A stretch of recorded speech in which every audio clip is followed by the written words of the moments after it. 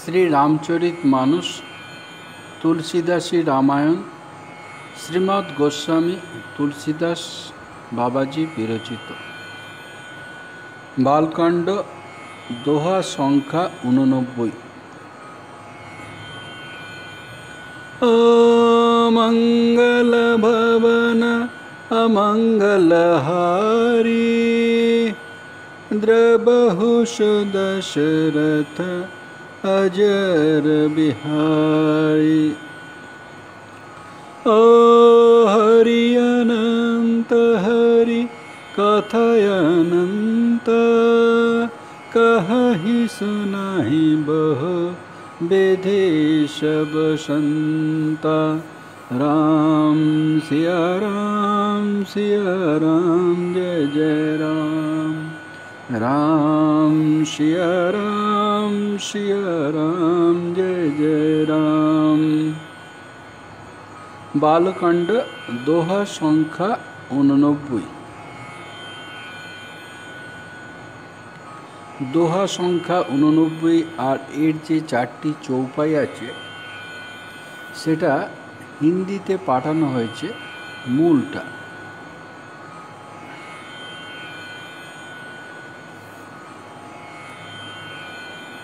শ্রী ব্রহ্মা দেবর্ষি সপ্তর্ষিগণ দেবী পার্বতীর কাছে গেছেন। তারপরে তারা কৌতুক যুক্ত হয়ে বলছেন, দেবর্ষি নারদের উপদেশ শুনে তুমি তখন আমাদের কথা গ্রাহ্য করলে না? এখন তো তোমার প্রতিজ্ঞাই মিথ্যা হয়ে গেল। কারণ দেবাদিদেব মহাদেব তো মদনকে ভস্মসাত করে ফেলেছেন। অর্থাৎ দেবাদিদেব মহাদেব বিবাহ করবেন না এইভাবে কৌতুক করছেন कहा हमारा न सुने हूँ तब नारद के उपदेश अब भा झूठ तुम्हारपन जा रे काम महेश কাহা হামারা? আমার কথা, আমাদের কথা দেবশ্রী নারদ বলছেন, আমাদের কথা, কা হামারা, কাহা হামারা? কাহা হামারা না শুনে হুঁ, শুনলে না আমাদের কথা। তব নারদ কে উপদেশ, নারদ কে উপদেশ? নারদেশের উপদেশের কথা শুনলে আমাদের কথা শুনলে না। অর্থাৎ আমরা বলেছিলাম, এই আশা পরিত্যাগ করো, মহাদেব পাত্র ভালো নয়। कहा हमारा ना सुने हूँ तब नारद के उपदेश अब भा झूठ तुम्हारा पन তোমাহারা পন তোমার প্রতিজ্ঞা এখন মিথ্যা হয়ে গেল অব বা ঝুট এখন দেখো মিথ্যা হয়ে গেল অব বা ঝুট তোমার পন জারেউ কেন জারেউ কামু মহেশ মহেশ জারেউ কামু কামদেবকে ভস্ম করে ফেলেছেন জারেউ কামু মহেশ कहा हमार न सुने हूँ तब नारद के उपदेश अब भा छूट तुम्हार पन जा रे কাম মহেশ এরপরে চৌপাই প্রথম চৌপাই এই কথা শ্রবণ করে দেবী ভবানী মৃদু হেসে বললেন হে জ্ঞানী মুনিগণ আপনাদের বুদ্ধিতে দেবাদিদেব মহাদেব এক তো এতদিনে কাম ভস্ম করলেন, তাহলে এ পর্যন্ত তিনি বিকারযুক্ত কামী ছিলেন। এইভাবে দেবীও কৌতুক করছেন। ও শনি বলে মুসুকাই ভবানী, উচিত কহে মুনি বর বিজ্ঞানী।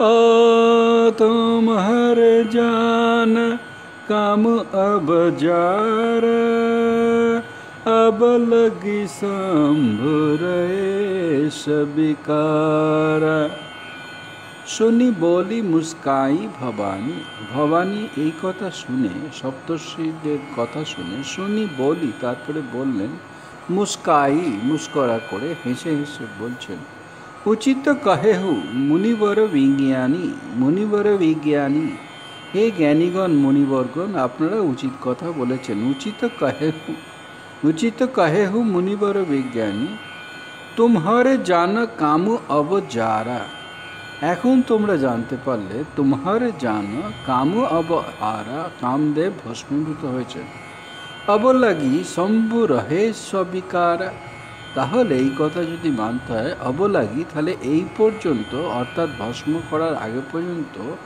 শম্ভু রহে সবিকারা শম্ভু ভগবান মহাদেবের বিকার ছিল মনে, কাম নিয়ে বিকার ছিল সেই জন্য তিনি কামকে ভস্ম করেছেন।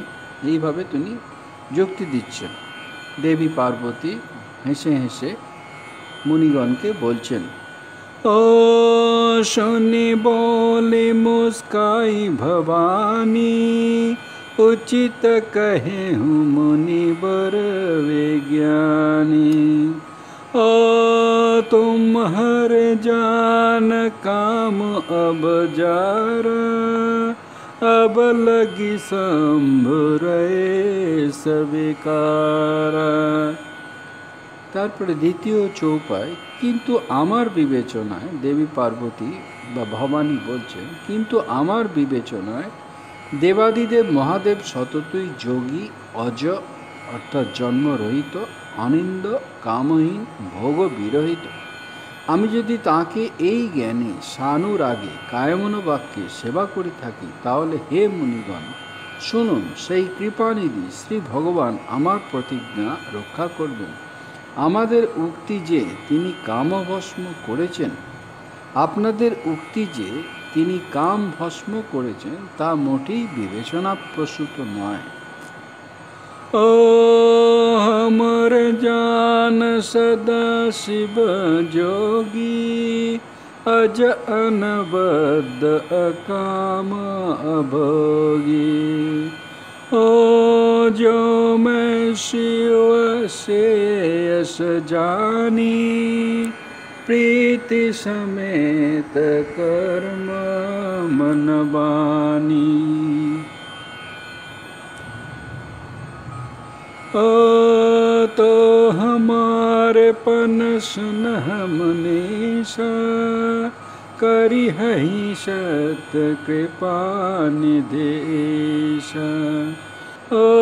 तुम जो कह हर जारे उमारा सोयति बर अविवेक तुम्हारा हमारे जाना আমি যে জানি আমি মহাদেবকে জানি আমারে জানো সদা শিব যোগী আমি ভগবান শঙ্কর সদা সদা যোগী তিনি। আমারে জানা আমার এই জানা আছে। আমারে জানা সদাশিব যোগী।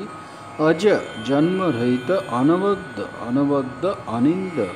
অকাম অভোগী, তিনি কামহীন, তিনি ভোগহীন। যো মে শিব, সে অস জানি। যে ভগবান মহাদেবকে আমি এইভাবে সেবা করেছি, যো মে শিব, সে অস জানি। এই জ্ঞান নিয়ে আমি সেবা করেছি।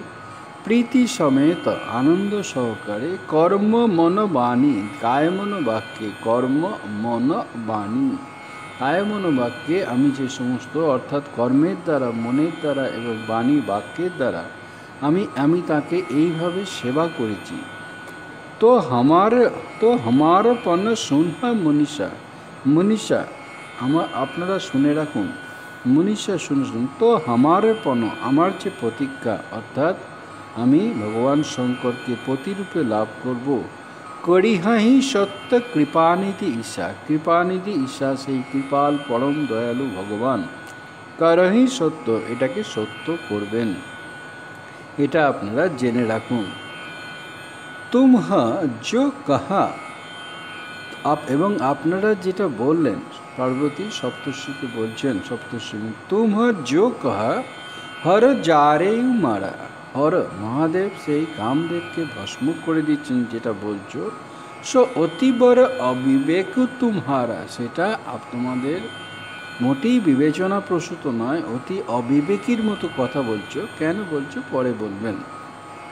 তো আমার জান সদা শিব যোগী। अनबद्ध काम अभोगी।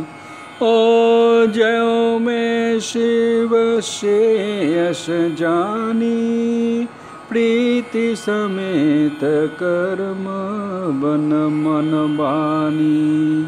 ओ तो हमारपन सुनहु मनीषा करी हही सत कृपा निदेशा ओ तुम जो कह हर जारे उमारा सोवते बर अबेबे को तुम्हारा দেবী পার্বতী বললেন সপ্তর্ষিগণকে যে মহাদেব কামদেবকে ভস্ম করেছেন, আপনারা বলছেন, এইটি বলা আপনাদের ঠিক হয়নি, বিবেচনা প্রসূত হয়নি। কেন?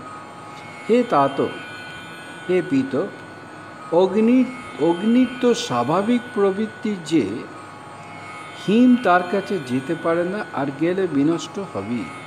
অগ্নির কাছে যদি হিম যায়, তো হিম বিনষ্ট হবেই। মদনের মহাদেবের কাছে যাওয়ার প্রসঙ্গ এই একই কথাই প্রযোজ্য। অর্থাৎ মহাদেবের কাছে মদন গেলে মদন বিনষ্ট হবে ও তাত অনল কর সহজ স্বভাও হিমতে হি নিকট যাই নহি কাউ। ओ गए समीप सो अब सिन साई असी मन मथ महेश की नाई तात हे तात अनल अनल অগ্নি কর সহজ স্বভাব অগ্নির স্বভাবই এইরকম সহজ স্বভাব তাত অনল কর সহজ স্বভাব তার স্বভাবই হচ্ছে হিম তেহি নিকট যাই হিম যদি তার নিকটে যায় নাহি কাউ তখন সে থাকতে পারে না ভস্ম হয়ে যায় तात अनल कर सहज स्वभाव हिम तेहि निकट जाई नहीं काऊ गए समीप सो অবশ্যই নসাই গয়ে সমীপ সো সো মানে হচ্ছে ওই কামদেব ভগবান মহাদেবের কাছে গিয়েছে সুতরাং নষ্ট তো হবেই গয়ে সমীপ সো অবশ্যই নসাই অসি মন অর্থাৎ যদি তাত অনল কর সহজ স্বভাহু অগ্নির স্বভাবই যে হিম তেহি নিকট যাই নেহি কাউ হিম যদি তার কাছে যেতে পারে না যদি যায় গই সমীপ যদি যায় সো অবশ্যই নশাই সে অবশ্যই নষ্ট হয়ে যাবে হিম তেহি নিকট যায় নেহি কাউ হিম তার কাছে যেতে পারে না কিন্তু যদি যায় গায়ে সমীপস অবশ্যই নশায়ু তখন সে নষ্ট হয়ে যায় অসি মনমথ মহেশ কি নাই ঠিক মনমথের অবস্থাও মহেশ মহেশের কাছে ভগবান শঙ্করের কাছে যাওয়ার ফলে একই অবস্থা হয়েছে ও तात अनल कर सहज स्वभाव हिमते निकट जाय